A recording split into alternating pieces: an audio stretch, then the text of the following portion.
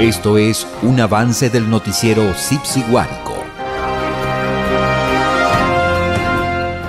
La Fuerza Armada Nacional Bolivariana realizó acto solemne para celebrar los 62 años del nacimiento del comandante supremo Hugo Rafael Chávez Frías. Nuestro comandante supremo, Hugo Rafael Chávez Frías, un hombre de cambios, un hombre revolucionario que vino a establecer en Venezuela ese nuevo orden, a despertar en nosotros la nacionalidad venezolana.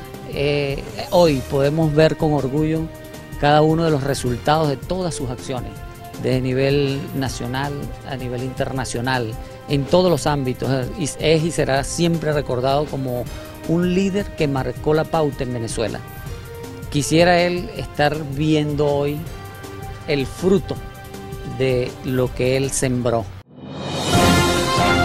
Esto fue un avance del noticiero Guárico.